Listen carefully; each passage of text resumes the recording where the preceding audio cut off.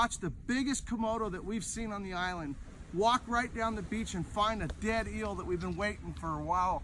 Because I saw, I found it a couple hours ago and it was the heat of the day.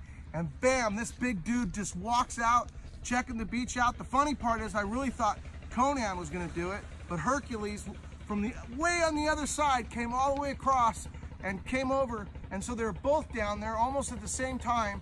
And a matter of fact, after after Hercules had already eaten the eel, Conan had finally caught the smell of it and they started almost fighting.